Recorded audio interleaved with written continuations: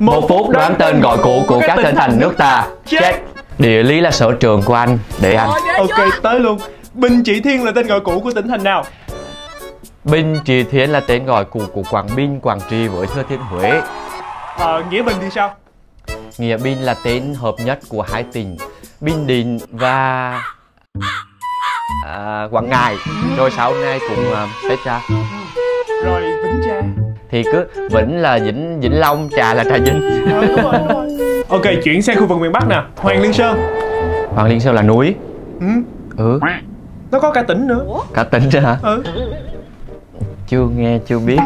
Đó là một tỉnh ở nằm ở vùng Tây Bắc. Chính là Lào Cai với Yên Bái ngày nay đó. Trời, gì mà kêu sở trường địa lý. Thì cũng phải có cái biết cái không chứ. Bây giờ anh sẽ đố em. Ok. Đồng Nai Thượng. Dễ ẹt, Đồng Nai chứ đâu. Sai. Ủa chứ đâu Hay đi Đà Lạt lắm phải không? Thì không cẩn thấy cũng có liên quan gì. Đồng Nai Thượng là tên gọi cũ của Lâm Đồng. Đó, tháng nào cũng đi mà không biết